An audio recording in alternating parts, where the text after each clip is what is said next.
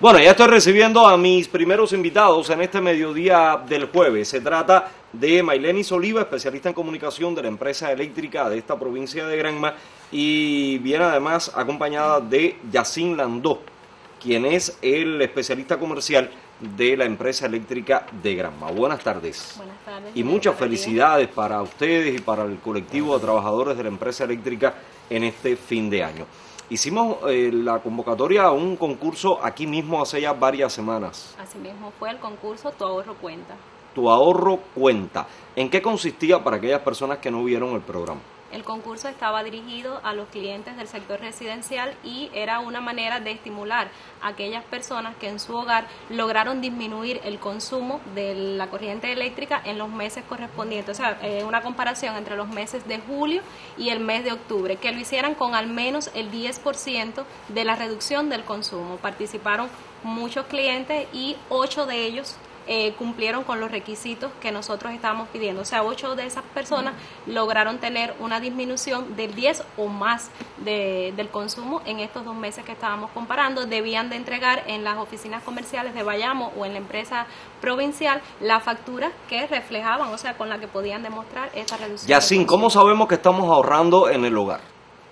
Bueno, eh, comparar, eh, como bien le decía la, la compañerita, eh, el consumo que sale en la factura, que bien dijimos que era la que salía con nombre de noviembre, que corresponde al consumo de octubre, y la que la factura eléctrica o recibo que sale con nombre de agosto, que corresponde al consumo de julio.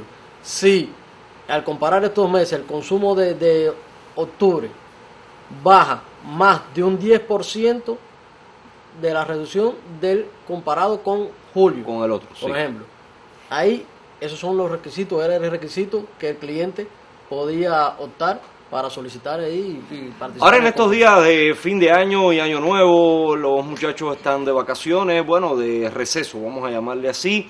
Eh, hay muchas personas que sí cogen vacaciones en esta época, pero es una época, digamos, donde no hay altas temperaturas, estamos en el horario normal, donde oscurece más temprano. ¿Qué se le recomienda a la familia con el objetivo del ahorro de electricidad? Bueno, en este horario siempre, en los hogares lo que se les recomienda es tratar de eh, agrupar, por ejemplo, a las mujeres cuando vayan a planchar, agrupar la mayor cantidad de ropa para hacerle un, eh, eh, eh, todo al unísono y siempre desplazando del horario pico, porque como bien decía, ya en este en este horario que estamos eh, teniendo es donde se, hay mayor pico eléctrico a nivel nacional y lo que tratamos es en este momento de desplazar la carga para así tener que emplear menos. Bueno, menos nos decía. Mailenis que de todas las personas que participaron en el concurso, ocho efectivamente habían ahorrado en ese, en ese periodo. Aquí hay ocho tarjetas con los nombres de esas ocho personas. Entonces vamos a escoger al azar una sola, una sola persona. No, yo no voy a tener el honor. Eh, Janoski, camarógrafo nuestro, quítese los arreos y venga aquí, que dejen el plano abierto. Venga, Janoski. ¿eh?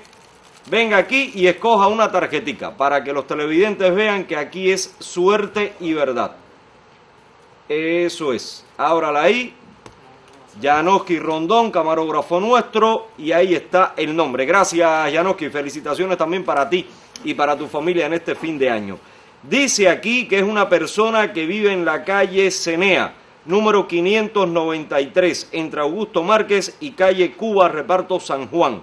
Milagro Sarmiento Díaz. Esta Bueno, es la ganadora. Muchas felicidades para ella. Según el cálculo que nosotros hicimos aquí, bueno, Milagro logró ahorrar 10.9, o sea, reducir el 10.9% del consumo en el mes de ¿Qué octubre fue? respecto a julio. Que fue 25 kilowatt hora con respecto, eh, redujo con respecto a julio. Qué bien, así que Milagro Sarmiento Díaz. Pero tú tienes ahí, Maileni, el nombre de las otras eh, siete personas, ¿verdad? no, vamos a mencionarlo, porque también. esos también ahorraron. ¿Quiénes Bueno, son? por acá tenemos a Ricardo Coronado Rodríguez, que ahorró mucho, 54.9%. Mira qué bueno.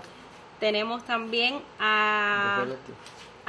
Josbel Ortiz. Josbel Ortiz Castillo, que ahorró 21%, Ajá. redujo ese, ese por ciento. A Norma Aguilar Vázquez, también tenemos a Gloria Chacón, a Carlos Batista y eh, Onelia Pastora, además de Milagro. Además de Milagro. Milagro Sarmiento Díaz debe de localizar a nuestra productora eh, Araceli Estrada para que reciba su regalo que está aquí, Ajá. el regalo de ella. Bueno, consiste en una carpeta, un pullover, agenda, lapicero, llavero y todos con el sello, por supuesto, de nuestra empresa eléctrica para que tenga el recuerdo. Qué bueno, gracias Maylene, y muchas Gracias. felicitaciones para ti, para tu familia, Feliz también por supuesto al buen amigo Yacín, para él y su familia, la felicitación. Pausa, estamos en la última revista del año 2019 y qué bueno saber que hay una televidente nuestra, Milagro Sarmiento, que se lleva un regalo cortesía de la empresa eléctrica de Gran.